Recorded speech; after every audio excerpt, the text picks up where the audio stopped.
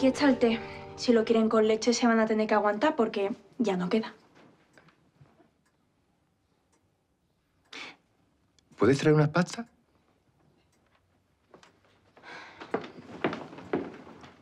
Jesús, ¿pero qué le pasa a la chiquilla? Uy, no, muy contenta no se le ve, ¿eh? No lo sé, pero lleva unos días más agria que un kilo de limones. Bueno, ya se le pasará. Le confieso que he estado en un sin vivir, ¿eh? Desde que usted me dijo que Bellita había corrido peligro con ese admirador loco. El precio de la fama a veces es muy alto. Lo sé.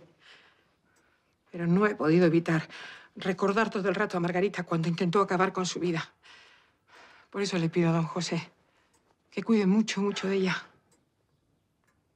Le agradezco mucho que te preocupes por ella. Ya sabes que yo daría mi vida por defenderla. Lo sé.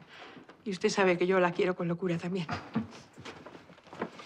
Están un poco rancias, pero son las que tenemos. Ah, no, no te preocupes, mujer, si yo ya me tenía que ir y doy ya. Ah, lo día. Eh, Eso, eso.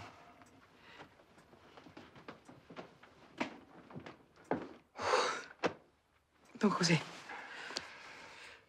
quiero decirle que ha sido un orgullo y un honor trabajar con ustedes aquí en esta casa y que nunca ha habido otra artista como Bellita. Y eso el público lo sabe. ¿Tú sabes lo que yo te deseo a ti? Que seas tan feliz con tu sereno como yo lo he sido con mi Maribelli. Ojalá.